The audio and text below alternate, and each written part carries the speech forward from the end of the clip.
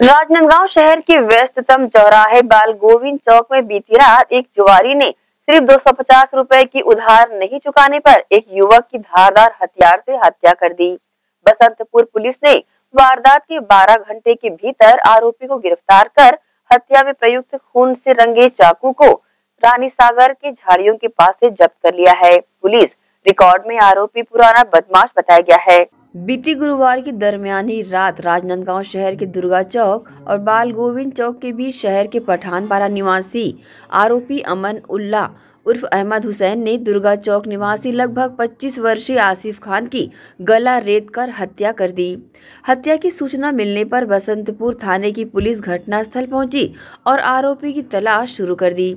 CCTV footage के आधार पर police ने सुबह आरोपी को हिरासत में ले लिया। इस हत्याकांड को लेकर बसंतपुर थाने की टीआई राजेश साहू का कहना है कि बीते वर्ष ताश खेलते समय 250 रुपए के लेन देन को लेकर दोनों में विवाद हुआ था।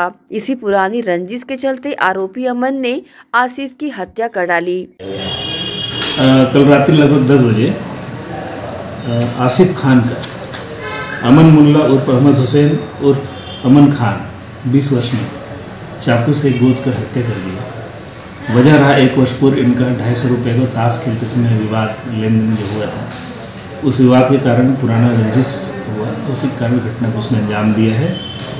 अंजाम देकर फरार हो गया था अमन मुल्ला, जिसको पुलिस ने पकड़ लिया है और अग्रिम कार्रवाई जारी है। लगभग एक वर्ष पूर्व आसिफ खान और अमन के बीच पैसे के लेन देन को लेकर मारपीट हुई थी, जिसमें आसिफ ने अमन की पिटाई भी कर दी थी। मारपीट की घटना के बाद आसिफ से बदला लेने की नियत से अमन ने मौका देखकर आसिफ के ऊपर प्राणघातक हमला कर दिया, जिससे आसिफ की मौत हो गई।